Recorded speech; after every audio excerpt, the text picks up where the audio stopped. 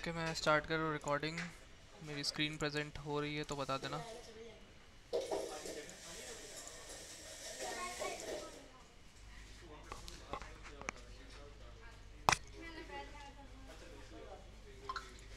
ठीक है। Screen present हो रही है सबको मेरी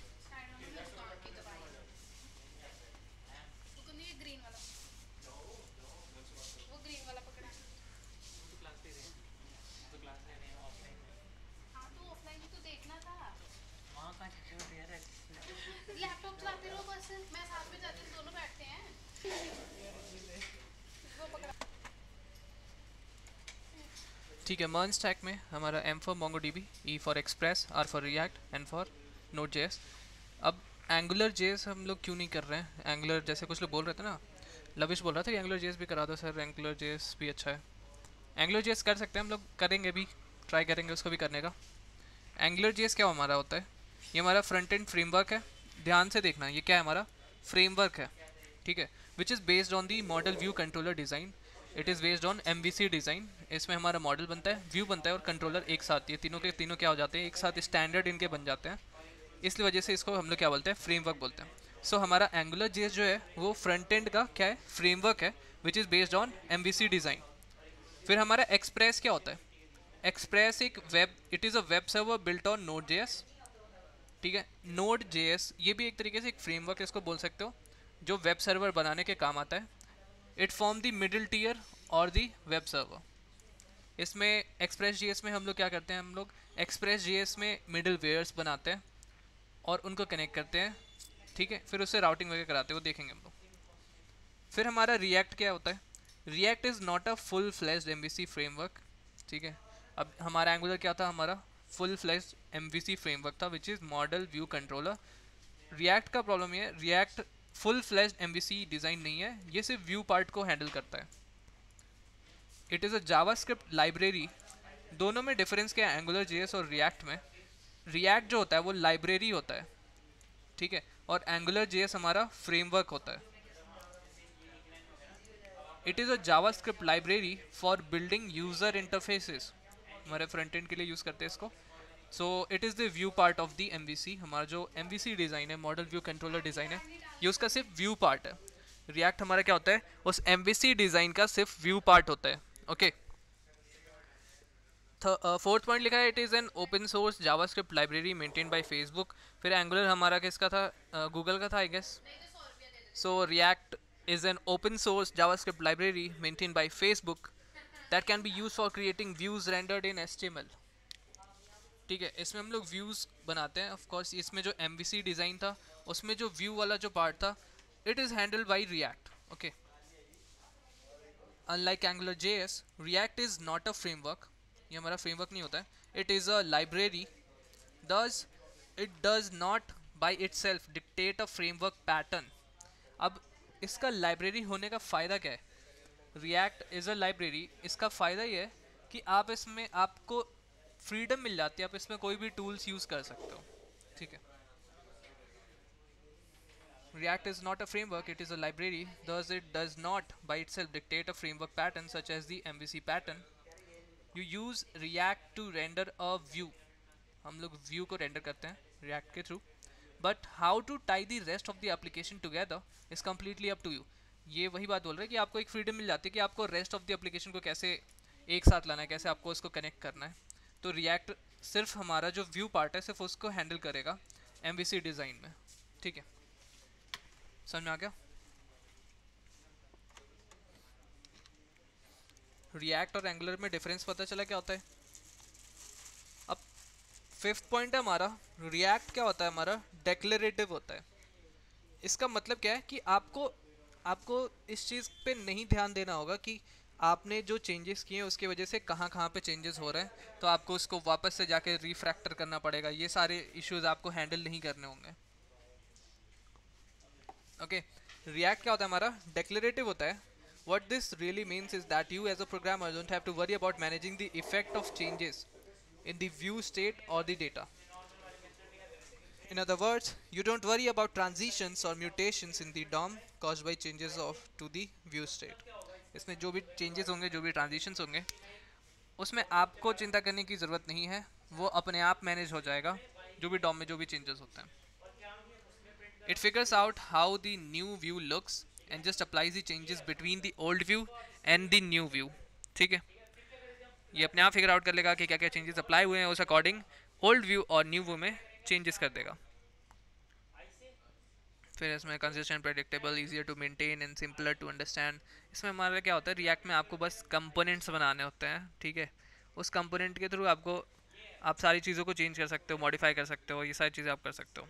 React take care of entire screen to be refresh on every data change using its virtual DOM अब रिएक्ट के अंदर क्या होता है? एक वर्चुअल डॉम टेक्नोलॉजी होता है। जिसकी मदद से आप इंटायर स्क्रीन जब रिफ्रेश होती है तो उसमें आप चेंजेस देख सकते हो। यहाँ पे लिखा हुआ है all you do is build components मतलब आपको रिएक्ट में क्या करना होता है? आपको सिर्फ़ कंपोनेंट्स बनाने होते हैं। Then you put components together to make another component that depicts a complete view और अ पेज आप उन कंपोनेंट्स को एक साथ करते हो अपने जिसने जिन्होंने काम कर रखा है उनको पता होगा कि हमें रिएक्ट में कंपोनेंट्स बनाने होते हैं उसके बाद आप उन कंपोनेंट्स को एक साथ कैसे लाते हो फिर उनको राउटिंग कैसे देते हैं ये सारी चीज़ें होती हैं उसमें। Components talk to each other by sharing state information in the form of read only properties to their child components and by callbacks to their parent components जो uh, हमारा कंपोनेंट होता है वो एक दूसरे से बात कर सकता है मतलब कनेक्ट कर सकता है एक दूसरे से। कैसे? जो पेरेंट्स होते हैं, उनको कॉल बैक करके कब कर सकते हैं? और जो हमारे चाइल्ड होते हैं, उन पर रीड ओनली प्रॉपर्टीज़ वगैरह लगा के शेयरिंग स्टेट इन्फॉर्मेशन कर देता है। It is a full featured programming language to construct repetitive और कंडीशनल डॉम एलिमेंट्स रेपिटेटिव कैसे बनता है? क्योंकि हम लोग अलग अलग कंपोनेंट्स बनाते हैं तो हमें एक ही चीज़ को बार बार लिखने की ज़रूरत नहीं पड़ती है। इस वजह से इसको बोल दिया गया कि फुल फीचर प्रोग्रामिंग लैंग्वेज है, जो बनाता है रेपिटेटिव और conditional DOM elements DOM elements क्या होते हैं हमारे? वही सारे एलिमेंट्स जो कंपोनेंट्स हमारे बनाएँगे। फिर नेक्स्ट है हमारा there is an intermediate language to represent a virtual DOM that is J S X बहुत लोगों ने सुना होगा जी एस एक्स क्या होता है? बहुत लोगों ने नहीं सुना होगा। J S X JavaScript XML ये एस्टिमल की ही तरह होता है, लेकिन एस्टिमल से थोड़ा सा डिफरेंट होता है। इसमें जैसे क्लास की जगह क्लास नेम आ जाता है, उसके बाद फिर और भी बहुत सारी चीज़ें हैं, उनमें चेंजेस होती हैं थोड़ी थोड़ी चेंजेस होती हैं। और करता क्या ना बेसिकली जब आप, आपको क्या करना होता है, आपको जावास्क्रिप्ट में कोड लिखना होता है कंपोनेंट्स वगैरह बनाने के लिए। बट आप ये चीज़ें जावास्क्रिप्ट के थ्रू कर नहीं सकते क्योंकि ये टफ हो जाता है काफ़ी और कॉम्प्लेक्स हो जाता है उसको करना। तो उसको ईजी बनाने के लिए फिर हम लोग JSX का यूज़ करते हैं विच इज़ जावास्क्रिप्ट एक्सएमएल इसके थ्रू आप डिज़ाइंस वगैरह बना सकते हो। और फिर आप उसको अप्लाई कर सकते हो। जैसे यहाँ पे क्या लिखा है if it lets you create nested DOM elements in a familiar language rather than hand construct them using javascript functions JavaScript के थ्रू अगर आप वही सेम चीज़ करोगे तो वो आपको ज़्यादा टफ लगेगा। अभी देखते हैं क्या होता है जे कैसे उसका हम लोग यूज़ करते हैं और जे नहीं होता तो क्या करना पड़ता हमें? ठीक है? You don't have to use JSX. You can write pure JavaScript to create your virtual DOM if you prefer. But if you are used to HTML, it's simpler to use JSX. फिर हमारा next point है React हमारा isomorphic होता है। React can be run on the server too that's what isomorphic means the same code can run on both server and the browser मतलब ये server और browser दोनों पे रन कर सकते हैं। फिर नेक्स्ट हमारा नोट जेस के बारे में थोड़ी डिटेल्स हैं। नोट जेस क्या होता है? देखो, जावास्क्रिप्ट हम लोग दो तरीके से रन कर सकते हैं। पहला तो ब्राउज़र पे रन करना, दूसरा हमारा सर्वर या फिर ब्राउज़र पे नहीं रन करना। तो दूसरा जो मेथड है ब्राउज़र पे नहीं रन करना, उस मेथड को हम लोग कैसे अचीव करेंगे, वो हमारा यूजिंग नोट जे है। So Node J S is JavaScript outside of a browser यहाँ पे लिखा है क्रोम वी एट इंजन को उठाएँ और उनको उनको इंडिपेंडेंटली रन करा दिया as a JavaScript run time जिसकी वजह से हम लोग ये फीचर्स को एक्सेस कर सकते हैं। अभी हमारा जो नोट जे है, वो क्या कर सकता है एक्सेस वो हमारे जो ऑपरेटिंग सिस्टम है, उनके फाइल्स को भी एक्सेस कर सकता है। बट हमारा सिंपल जावास्क्रिप्ट जो था, वो उन फाइल्स को एक्सेस नहीं कर सकता था राइट जैसे इनमें थोड़े से डिफरेंस देखते हैं। मैंने कहीं पे लिख रखा था। देखते हैं कहाँ पे है। Node JS Node Node.js full stack now I guess.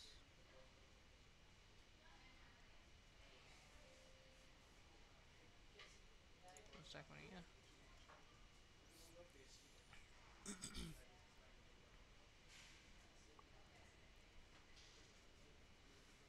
ये रहा नोट जेस ठीक है नोट और जावास्क्रिप्ट में डिफरेंस क्या है? वो भी देख लो। पहली बात तो नोट जेएस जो हमारा क्या करता है, वो ग्लोबल ऑब्जेक्ट क्रिएट करता है इंस्टेड ऑफ़ विंडो ऑब्जेक्ट अब आप जैसे देखोगे कि अगर आप कोई जावास्क्रिप्ट प्रोग्राम लिखते हो फिर यहाँ पे आप दिस डॉट विंडो करते हो तो आपका विंडो आ जाता है। विंडो के अंदर जो भी चीज़ें, जो भी ऑब्जेक्ट्स होते हैं, वो आ जाता है। अब हमारा जो सिंपल जो जावास्क्रिप्ट है, वो क्या क्रिएट करता है? विंडो ऑब्जेक्ट क्रिएट करता है रादर देन ग्लोबल ऑब्जेक्ट हमारा जो नोट जैसे वो ग्लोबल ऑब्जेक्ट क्रिएट करता है। It runs on a server not in a web browser और यहाँ पे हम लोग कंसोल डॉट लॉग ग्लोबल कर सकते हैं। क्योंकि हमारे पास ग्लोबल ऑब्जेक्ट क्रिएट होता है। It has common core modules that we will explore फिर इसमें कॉमन जे एस मॉड्यूल होता है instead of E S six हमारे जावास्क्रिप्ट में क्या कौन कौन से मॉड्यूल्स होते हैं? ई एस सिक्स मॉड्यूल होता है। इसमें कॉमन जे एस मॉड्यूल होता है rather than E S six Node J S is missing some J S A P Is like fetch कुछ फैच ए पी आईज होते हैं, वो नोट जे में नहीं होते हैं। बट उनको भी हम लोग अचीव कर सकते हैं using other methods file system पे हम लोग काम कर सकते हैं। जो कि हम लोग सिंपल जावास्क्रिप्ट से काम नहीं कर सकते थे। जैसे कि ऑपरेटिंग सिस्टम का टाइप, ऑपरेटिंग सिस्टम की वर्जन, फिर होम डायरेक्टरी पता करना तो इनके आउटपुट कुछ ऐसे आते हैं कि ऑपरेटिंग सिस्टम का टाइप ये हो गया, फिर उसका वर्जन ये हो गया, फिर ये होम डायरेक्टरी का वर्जन मतलब होम डायरेक्टरी, अभी कौन से डायरेक्टरी में करेंटली हम लोग प्रेजेंट है, ये सारी चीज़ें हम लोग कर सकते हैं। यूजिंग नोट जेस बट ये जो ये जो यहाँ पे कोड लिखा हुआ है, ये अगर आप सिंपली वेब ब्राउज़र पे रन करोगे तो ये चीज़ें रन नहीं होंगी। ठीक है, ये हमारा नोट जेस की मदद से होता है। फिर आप डायरेक्टरी का नाम पता कर सकते हो फ़ाइल का नाम पता कर सकते हो, ठीक है। आप इसमें क्या how to export a function ये सारी चीज़ें आपको पता हूँ बेसिकली नोट जेस में ये सारी चीज़ें जो एक्स्ट्रा होती हैं, या फिर डिफरेंट होती हैं, वो आपने अभी देख लिया। इसमें कॉमन जेस मॉड्यूल होता है rather than E S six modules इसमें आपका ग्लोबल ऑब्जेक्ट होता है इंस्टेड ऑफ़ विंडो ऑब्जेक्ट फिर ये सर्वर पे रन करता है instead of web browser so it is a JavaScript outside of a browser the creators ये हो गया पार्ट कंप्लीट नेक्स्ट क्या लिखा है? Bunch of core modules compiled into the binary. These modules provide access to the operating system elements such as file system, networking, input, output, etc. फिर हमारा N क्या चीज़ होता है? एन बहुत देखा होगा। एन हमारा होता है Node package manager it is default package manager और ये मतलब ये सबसे ज़्यादा पॉपुलर यही है एन इसके अलावा भी बहुत सारे पैकेज मैनेजर आते हैं जैसे माविन हो गया फिर आपका यान हो गया। यान भी काफ़ी फ़ेमस है। इनका भी आप यूज़ कर सकते हो। Even though React is largely client side code and can be included directly in H T M L as a script file it is recommended instead that React is installed by N P M तो React को भी आप दो तरीके से use कर सकते हो। एक तो आप एन पी एम इंस्टॉल करके यूज़ कर लो। दूसरा तरीका है कि आप लिंक्स वगैरह लगा के कर लो। कि लिंक्स जैसे हमारी आती है ना सीडीएन की लिंक्स आती हैं बूटस्ट्रैप सी डी एन फिर इस तरीके से हमारी लिंक आती है, फिर आप अपने एस पेज पे आप उसको लगाते हो। तो आप ये काम रिएक्ट के लिए भी कर सकते हो कि रिएक्ट को आप ऐसे लिंक को कनेक्ट कर दिया। लेकिन it is recommended that React is installed by NPM once installed as a package, we need something to put all the code it together that can be included ये सब फालतू चीज़ें हैं। हाँ इनको जब हम लोग बिल्ड करते हैं इन सारी चीज़ों को तो हमें इन्हें इन टूल्स का मदद करना पड़ता है, लेना पड़ता है। जैसे वेब पैक हो गया ब्राउजरीफाई हो गया it can put together your own modules as well as the third party libraries in a bundle that can be included in the H T M L Node J क्या है? Event driven है asynchronous होता है non blocking input output model है इसमें ना non blocking का मतलब क्या है कि इसमें थ्रेड्स तो होते नहीं हैं। सिंगल थ्रेड पे काम करते हैं as opposed to using threads to achieve multi tasking most language depend on threads to do thing simultaneously but there is no such thing like simultaneous when it's come to a single processor हम लोग हाँ यहाँ पर single processor का use करते हैं। Note जेस में हमें, जैसे हम हम बनाते क्यों है रिएक्टर है? हम सिंगल पेज एप्लीकेशंस के लिए बनाते हैं, ठीक है? सिंगल पेज पे हमारे सारे काम होते हैं। सिंगल पेज पे सारे काम होने का मतलब है क्या? एक ही थ्रेड पे हमारे सारे काम होने हैं, ठीक है? तो इसमें मल्टीटास्किंग हमारा ईजिली हो जाता है यूजिंग कॉल बैक्स हम लोग कॉल बैक्स का वगैरह कॉल बैक्स यूज़ करते हैं प्रोमिस यूज़ करते हैं। उससे हम लोग मल्टीटास्किंग अचीव कर सकते हैं। Rather than creating multiple threads in like तुम्हारी प्रोग्रामिंग लैंग्वेजेस जैसे जावा जिसमें आप कलेक्शन यूज़ करते हो, कौन सा? मल्टी थ्रेडिंग के लिए, ठीक है? उसकी जगह आप इसमें लाइक इसमें तो कॉल बैक और प्रोमिस से हमारा काम चल जाता है। तो हमारा इसको बोल सकते हैं कि मल्टी टास्किंग हमारी अचीव हो जाती है नोट जे में। Node J S on the other hand has no threads it relies on call backs to let you know that a pending task is completed so if you write a line of code to open a file you supply it with a call back function to receive the result फिर हमारा है Node J S achieve multi tasking using an event loop अब event loop क्या होता है? Queue of events होते हैं। That need to be processed and call backs to be run on those events next ये सब ये सारा हमारा नोट जैसे इसके बारे में और डिटेल में देखेंगे। हम लोग करेंगे कोर्स को कंप्लीट फिर हमने एन देखा, हमने देखा रिएक्ट क्या होता है, हमने देखा एंगलर क्या होता है। एंगलर हमारा एमबीसी डिज़ाइन पे बेस्ड है। फिर हमारा रिएक्ट हमारा क्या व्यू पार्ट है बस उसका। एमबीसी का सिर्फ़ व्यू पार्ट है रिएक्ट रिएक्ट हमारी लाइब्रेरी होती है एंगुलर हमारा फ्रेमवर्क होता है। ये सारी चीज़ें हमने कवर कर लिया है, ठीक है? नेक्स्ट हमने देखा था ये ब्राउजरीफाई और वेब पैक हमने देख लिए थे। फिर हमारा आता है एक्सप्रेस जे अब नोट जे क्या होता है? Node J is just run time environment that can run JavaScript जैसे गूगल वालों ने क्या किया था कि वी एट इंजन को उठा लिया था। वी एट इंजन को उठा लिया और उस पर जावास्क्रिप्ट को रन करा दिया। फिर हमारा एक्सप्रेस क्या होता है? एक्सप्रेस एक हमारा फ्रेमवर्क होता है जो इन चीज़ों को सिंप्लीफाई करता है, इन टास्क को सिंप्लीफाई करता है और सर्वर कोड को ज़्यादा आसान करता है। यहाँ पे क्या लिखा है? To write a full fledged web server by hand on Node JS directly is not that easy nor is it necessary हम लोग एक्सप्रेस फ्रेमवर्क का यूज़ करते हैं which simplifies the task of writing your server code फिर हमारा Express framework lets you define routes routes बनाते हैं हम लोग एक्सप्रेस फ्रेमवर्क से। Specification of what to do when a HTTP request matching a certain pattern ये सब फालतू चीज़ें बताते हैं इनका क्या मतलब है। व्हाट टू डू हाँ ये है इसका मेन पार्ट एक्सप्रेस क्या करता है? पास करता है। रिक्वेस्ट यूआरएल हेडर्स और पैरामीटर्स को। और रिस्पॉन्स साइड में it includes functionalities like setting response code फिर आपका कुकीज़ को सेट करना कस्टम हेडर्स बनाने, भेजने। फिर आपका मिडिल वेयर एक्सप्रेस में क्या होता है? हम जितने भी काम करते हैं एक्सप्रेस में, हम लोग मिडिल वेयर्स बना के करते हैं। So it is a custom piece of code that can be inserted in any request response to achieve functionalities like logging अब लॉगिंग क्या होता है? जैसे आपने कई आपने कई एप्लीकेशन दिखे होंगे जिसमें लॉग्स वगैरह जनरेट हो जाते हैं। जैसे हीरो को पे आपने अगर वो कर दिया, कोई ऐप को अगर आपने डिप्लॉय किया तो अगर उसमें कुछ एरर्स आते हैं तो वो लॉग कर देता है। कहीं पे स्टोर कर लेता है उस चीज़ को। तो लॉगिंग क्या होता है? उसको स्टोर करना। उसको लॉगिंग बोलते हैं कि क्या क्या मैथ क्या क्या प्रोसेस हुए हैं क्या क्या एरर्स आए हैं। इन सारी चीज़ों का एक जगह इकट्ठा करके रखना, इनको स्टोर करना है उसको उस प्रोसेस को हम लोग बोलते हैं लॉगिंग तो ये सारी फंक्शनैलिटीज़ को हम लोग अचीव कर सकते हैं यूजिंग एक्सप्रेस के मिडल वेयर्स ऑथेंटिकेशन वगैरह के लिए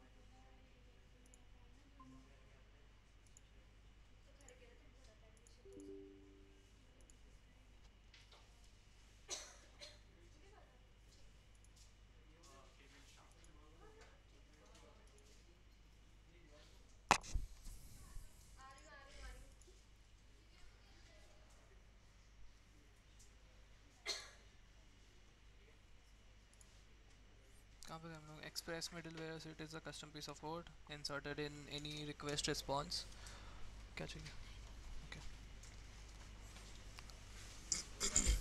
इसमें एक बिल्ट इन टेम्पलेट इंजन नहीं होता है अब इसका क्या मतलब है टेम्पलेट इंजन क्या होता है you don't need to use a server side template engine लेकिन हमारे बहुत सारे सर्वर साइड टेम्पलेट इंजन होते हैं because dynamic content generation is done on the client side and it is not done on the server side okay okay, so so हमें dynamic content generation के लिए हमें सर्वर जो हमारी client side है उस उस पर ही होती है। हमारी सर्वर साइड पे होती नहीं है। तो हमें टेम्पलेट इंजन की ज़रूरत पड़ेगी ही नहीं ऑफ़ कोर्स टेम्पलेट इंजन का मतलब क्या है कि कोई चीज़ को पहले से बना के रख देना है उनको रेपुटेशन मान लो होती है। तो टेम्पलेट इंजन क्या करती है? वो सारे काम को कर देती है ईजिली मतलब रेपुटेशन करना होता है रेपुटेशन कर देती है उनको क्रिएट कर देती है। बट हमें सर्वर साइड में इसकी ज़रूरत नहीं पड़ती है। हमें क्लाइंट साइड में ज़रूरत पड़ती है तो हम लोग उधर ही देखते हैं। नेक्स्ट है हमारा मोंगो डी ये हमारा no SQL document oriented database होता है। इसमें फ्लेक्सिबल स्कीमा होती है, लेकिन हमारा जो मोंगो डी होता है, इसमें स्कीमा होती नहीं it is basically schema less और हमें इसको अगर स्कीमा देना होता है तो हमें यूज़ करना पड़ता है मोंगूज़ आपने यूज़ किया होगा अगर आप लोग पहले प्रोजेक्ट बनाए होंगे मॉन स्टैक पे। तो मोंगूज़ नाम का एक मॉड्यूल आपको यूज़ करना पड़ता होगा। तो मोंगूज़ हमारा क्या करता है? स्कीमा बनाता है। It is JSON based query language no SQL stand for non relational ठीक है? नॉन कन्वेंशनल डेटाबेस है हमारा। अब इसका स्टैंड आउट क्या है? मतलब इसकी एडवांटेज क्या है? ये हमारी हॉरिजॉन्टली स्केल कर देती है। जैसे अगर आपका सर्वर पे बहुत ज़्यादा लोड पड़ रहा है तो उसको डिस्ट्रीब्यूट कर देगी मल्टीपल सर्वर पे और उसको हॉरिजॉन्टली स्केल कर देगी। बट यही है, कोई भी चीज़ अगर कहीं प्लस पॉइंट है तो उसका नेगेटिव भी है कि इसमें कंसिस्टेंसी नहीं हो पाती है डेटा में। डुप्लीकेट डेटा इसमें बन जाते हैं, इसमें जो जैसे हमारा अगर बोले तो डुप्लीकेट एंट्रीज हो जाती हैं। और दूसरा फ़ायदा है कि हमें इसको रोज़ और कॉलम्स के तरफ़ से नहीं देखना होता है। यह हमारी पूरी की पूरी डॉक्यूमेंट ओरिएंटेड होती है तो हमें उस तरीके से इनको व्यू नहीं करना होता है अब। नेक्स्ट हमारा it avoid the translation layer where one has to convert or map the object that code deals with to the relational tables just such translations are called ORM object relational mapping जैसे अगर आपने देखा होगा जैसे मैं run करके दिखाता हूँ एक सेकेंड सैम सर्वर मैंने सर्वर स्टार्ट किया मैं local host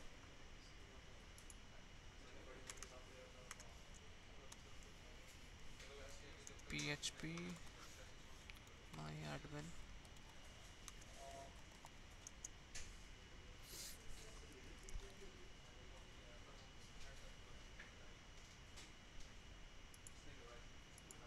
जो हमारा सीक्वलाइट वाला या फिर सीक्वल बेस्ड जो डेटाबेसेस होते हैं उनमें ये सारी चीज़ें रिक्वायर्ड होती हैं जैसे एक्सेस डिनाइड क्यों आ गया क्या हो गया? ओके okay, मेरे में इशू आ रहा है। उसके बाद में देख लेते हैं। उसमें क्या होता है ना, हमारे जो अलग अलग टेबल्स होते हैं, उनको आपस में कनेक्ट करने के लिए हमारी मैपिंग्स होती हैं।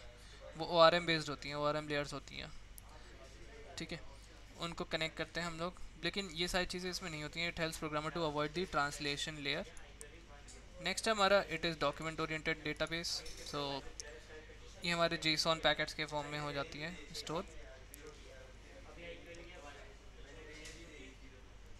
it can index on deeply nested fields अब देखो, ये एक फ़ायदा है कि हमारा जो टेबल और रो होता है, उसमें आप डीपली नेस्टेड फील्ड्स नहीं बना सकते उतने आसानी से। उसमें फिर आपको अलग अलग टेबल्स के अंदर दूसरे टेबल को मैप करना पड़ता है। वो वो अलग ही कॉन्सेप्ट हो जाता है। लेकिन मोंगो में क्या होता है, आप इनको डीपली नेस्टेड फील्ड्स बना सकते हो। रिलेशनल डेटाबेस में आप वो काम नहीं कर सकते। फिर Mongo language is JavaScript based तो ये एक और फ़ायदा है क्योंकि आप पूरा मर्न स्टैक क्या करोगे? जावास्क्रिप्ट बेस्ड ही है पूरा का पूरा मर्न स्टैक तो ये आपके लिए फ़ायदा ये है कि आपको कोई एक्स्ट्रा एक्स्ट्रा कोई प्रोग्रामिंग लैंग्वेज सीखने की ज़रूरत नहीं पड़ रही है। जैसे सीक्वल में आपको उनकी क्वेरीज वगैरह देखनी पड़ती थी उतनी। ये हमारा क्या है? जावास्क्रिप्ट बेस्ड है। Data is natively stored in variation of JSON called BSON अब देखो मोंगो में क्या होता है? हमने हमने सोचा था जेसॉन पैकेट्स में होती है, लेकिन जो हमारी जेसॉन पैकेट होती हैं, वो हमारी जब हम लोग देखते हैं तो वो जेसॉन पैकेट्स में कन्वर्ट हो जाती हैं बट जब वो स्टोर होती हैं तो वो बीसॉन फॉर्मेट में स्टोर होती हैं, ताकि हमारा जो स्पेस है वो एफिशिएंटली यूटिलाइज कर सकें हम लोग। अब प्रॉब्लम क्या है? जैसे अभी मैंने बताया था डेटा जो होती है हमारी डुप्लीकेट हो जाती है। जिन्होंने डेटाबेस मैनेजमेंट सिस्टम पढ़ा होगा अपने कॉलेज में, उन्हें उन्हें पता होगा ये चीज़ कि नॉर्मलाइजेशन क्या होता है नॉर्मलाइजेशन इन डेटाबेस पता है आप लोग को नॉर्मलाइजेशन क्या होता है? नॉर्मलाइजेशन में हम लोग जो डुप्लीकेट डेटाज होते हैं, उनको उड़ाते हैं।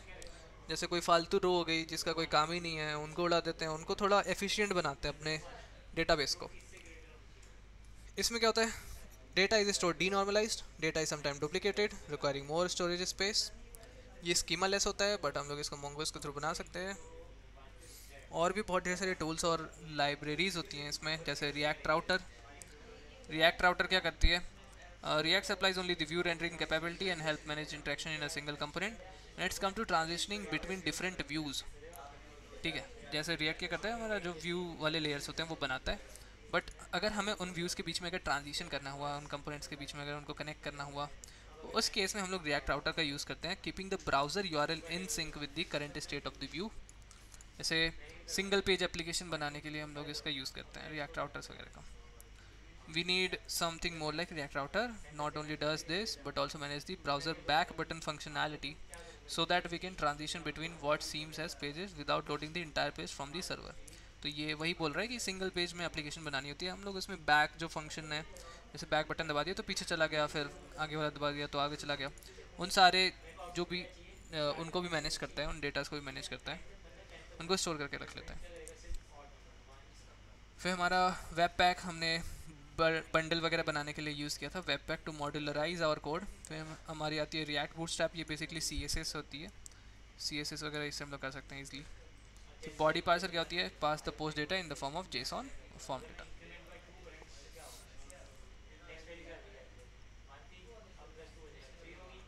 ये हमारा बेसिक इंट्रोडक्शन है to MERN stack okay next है हमारा रिएक्ट पे थोड़ा सा बेसिक इंट्रोडक्शन की रिएक्ट में क्या क्या होता है। तो रिएक्ट वाला देखते हैं अभी। जैसे रिएक्ट हम लोग दो तरीके से यूज़ कर सकते हैं। Hello word in one stack तो रिएक्ट क्या होता है हमारा? सर्वर लेस दो तरीके के अप्रोच है। एक हमारा सर्वर बेस्ड अप्रोच है, फिर एक हमारा सर्वर लेस अप्रोच है। सर्वर लेस अप्रोच में हम लोग यहाँ पे स्क्रिप्ट लगाते हैं। जैसे रिएक्ट जेस है, इसकी स्क्रिप्ट लगा देंगे, फिर रिएक्ट डॉम की स्क्रिप्ट लगा देंगे ये सारी की सारी स्क्रिप्ट आपको C D N J S पे मिल जाएगी। एक वेबसाइट है C D N J S वहाँ पर मिल जाएगी। वहाँ से आप रिएक्ट जेएस की ये लिंक लगा देना, फिर रिएक्ट डॉम की लिंक लगा देना। रैदर दैन यूजिंग एनपीएम जैसे एनपीएम में हमें इंस्टॉल करना होता है ना रिएक्ट वगैरह को, ये कहते हैं मतलब बस देख लो, ऐसे कर सकते हैं हम लोग कि रिएक्ट का लिंक इसमें लगा दिया, फिर रिएक्ट डॉम का लिंक इसमें लगा दिया, फिर browser dot min dot JS लगा दिया। अब किसी को पता है क्या ये बेबल कोर क्या है?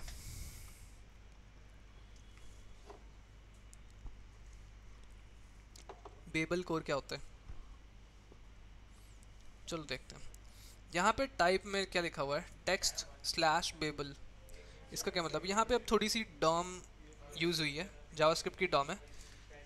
देख रखा होगा आप लोगों ने, पक्का देख रखा होगा। Dot get element by ID मतलब उस आईडी को फॉर एग्ज़ाम्पल यहाँ पे एक डिप बनी हुई है। इसमें एक आईडी दी हुई है कंटेंट नाम की। तो यहाँ पे इस आईडी को गेट कर लिया मतलब इसको सेलेक्ट कर लिया, इस डिव को सेलेक्ट कर लिया। अब यहाँ पे इस डिव को सिलेक्ट किया, एक वेरिएबल कंटेंट नोड में उसको डाल दिया, फिर एक कंपोनेंट बनाया। कंपोनेंट कैसे बनाया? यहाँ पे H one hello world slash H one यहाँ पे लिखा हुआ। अब ये बताओ, ये एस है? क्या ये एस है? ये एस नहीं है, ये JSX है। देखेंगे कैसे। अभी पता लगेगा कैसे करते हैं। फिर हमारा एक फ़ंक्शन है रेंडर उसको हम लोग यूज़ करते हैं, जिसके अंदर दो आर्गुमेंट्स डाला हुआ है, एक कंपोनेंट और एक कंटेंट नोड ठीक है? ये क्या करेगा? ये इसके अंदर इसको रेंडर करा देगा इस डिव के अंदर इसको रेंडर करा देगा। कुछ इस तरीके से इसकी आउटपुट आएगी। होता क्या है? React DOM is defined in the included script React DOM dot J S ये जो React DOM dot J S है इसके अंदर हमारा रिएक्ट डॉम आ गया। आ, लेकिन ये लाइन करती क्या है? It ask the React DOM library ठीक है, क्या करेगा ये? React DOM library to render the component within the content content node ये हमारा कंटेंट नोड था। कंटेंट नोड के अंदर कंपोनेंट को रेंडर कर देगा। अब यहाँ पे जो कंपोनेंट लिखा हुआ है एच वन हेलो वर्ड ये हमारा एस्टिमल नहीं है, ये हमारा जे एस एक्स है। लेकिन जे एस एक्स पार्स कैसे हो रहा है फिर? ठीक है जे एस एक्स हमारी रन कैसे हो रही है वेबसाइट पे? एस्टिमल है नहीं। हमने देखा था कि क्रोम पे एस्टिमल रन होनी चाहिए, लेकिन ये हमारा पार्स कैसे हो रहा है मेरा रन कैसे हो रही है? It is transformed into JavaScript code क्या बोल रहा है? ये ट्रांसफॉर्म हो जाती है जावा स्क्रिप्ट कोड में that generates an element in React virtual DOM फिर जब जैसे वो जावास्क्रिप्ट कोड में जनरेट हो जाएगी, फिर वो क्या होगी? फिर वो रिएक्ट वर्चुअल डॉम में जनरेट हो जाएगी। जैसे ये देखो, इसका मतलब इस लाइन का मतलब ये होता है, एकदम सेम कि h1 ये हमारा जो एलिमेंट है, इस लाइन का मतलब एग्जैक्टली exactly ये है, कि रिएक्ट डॉट क्रिएट एलिमेंट जिसमें h1 हमारा एक एलिमेंट होगा एस्टिमल एलिमेंट फिर उसके बाद नल है मतलब उसमें कोई क्लासेस वगैरह कुछ नहीं है, उसके अंदर एक बॉडी है, उसके अंदर कुछ लिखा हुआ है, ठीक है हेलो वर्ड लिखा हुआ है। लेकिन इस चीज़ को लिखना, ये इस तरीके से लिखना ज़्यादा आसान है rather than writing like this जैसे क्रिएट एलिमेंट लिख करके इस तरीके से लिखना, ये काफ़ी टफ हो जाता है। अब अगर मान लो डिव के अंदर डिव चाहिए तो उस केस में फिर और ज़्यादा नेस्टेड काम होने लगते हैं। फिर वो टफ हो जाता है प्योर जावास्क्रिप्ट कोड लिखना। इसलिए हम लोग क्या यूज़ करते हैं? जेएसएक्स का यूज़ करते हैं। अब बेबल कोर आपने लाइब्रेरी देखी थी? ये बेबल लाइब्रेरी है। यहाँ पे ये क्यों इंपोर्ट किया गया है? It is imported because it is the J S X transformer ये पार्स कैसे हो रही है? जो हमारी आ, हमने देखा था कि प्योर जावास्क्रिप्ट ही पार्स हो सकती है। बट स्टिल यहाँ पे जे भी पार्स हो जा रही है।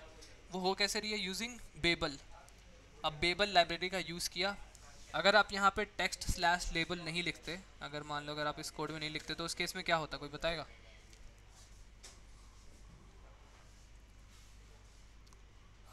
ये हमारा जो जेएसएक्स है वो ट्रांसफॉर्म ही नहीं हो पाता वो पार्स ही नहीं हो पाता।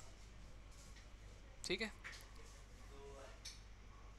The browser-based JSX compiler looks for all inline scripts of type text slash babel and compiles the content into the current corresponding javascript ठीक है अब बताओ इन क्वेश्चंस के आंसर बताओ चैट में लिख लिख करके पहला का तो शायद मैंने आंसर बता ही दिया है चैट में लिखो आंसर बताओ